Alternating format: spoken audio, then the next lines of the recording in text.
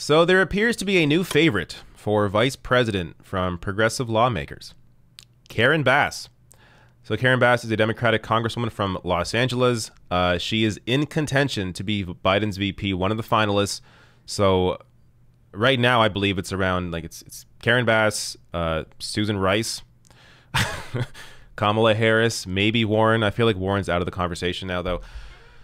So there's a potential um, this may happen. Now, look, of course, this is not my first choice. Uh, my first choice always Nina Turner, but Joe Biden was never going to pick Nina Turner, so it was always always out of the question. Second choice, Barbara Lee. I think a very realistic choice. Definitely could have been a finalist here, but maybe they thought too risky. So Karen Bass appears to be the choice, and I'll get to in a second. Uh, a couple of people who I trust that are backing Karen Bass for VP. So, this Politico headline over 300 DNC delegates members urge Biden to pick Bass for VP.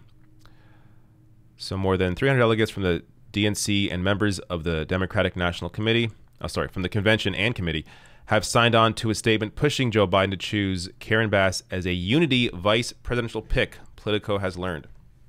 Now, one of those people is Nina Turner. Nina Turner, former co-chair of Sanders' 2020 campaign, signed on to the statement too. Quote, Congresswoman Bass would make an excellent vice president, Turner said. Her commitment to the grassroots is evident in her work from activist to the California legislature to Congress. She has a record of building coalitions, especially during turbulent times, and this skill set is absolutely needed in the critical moment in our nation's history.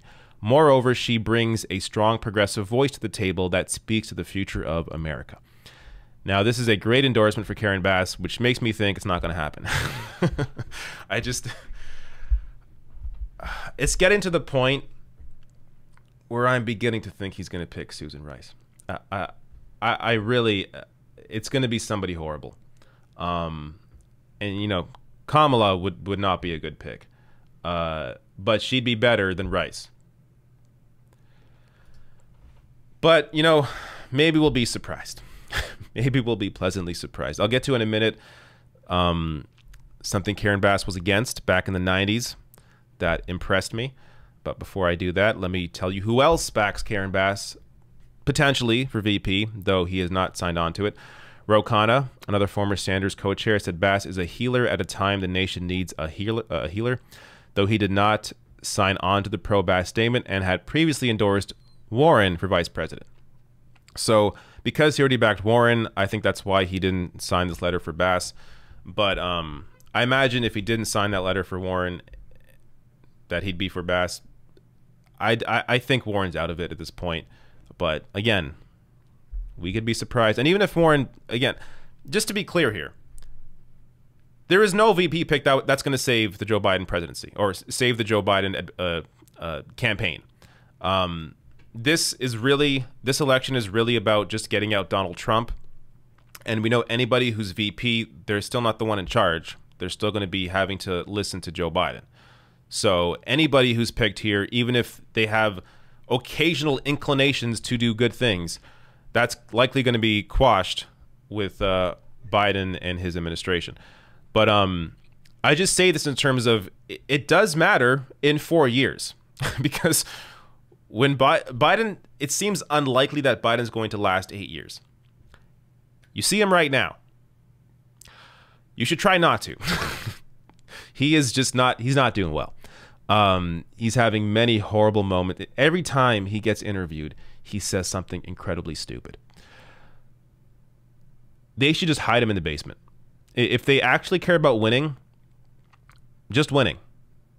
Hide him in the basement, let him be hidden. What's the media going to do? They're going to say, "Oh, we can't interview Joe Biden." And we'll all be like, "Oh, isn't that isn't that crazy? They're hiding him." And then we're all going to forget they're hiding him and be focused on Trump destroying the country. I mean, this is as I, as I, as I discussed earlier, you can't really have a discussion about any other policy issue until Trump's out. Trump is this massive cancerous tumor. You have to cut off the tumor to be able to have any discussion about anything else. And again, this election to me the way I view it, it's not about voting for who you like because you got two shitty choices. It's about voting who you voting for who you want to fight. I would rather fight Joe Biden than fight Donald uh, than fight Donald Trump. Donald Trump locks up peaceful protesters, snatches people off the street that aren't even doing anything, puts them into unmarked vans and drives off.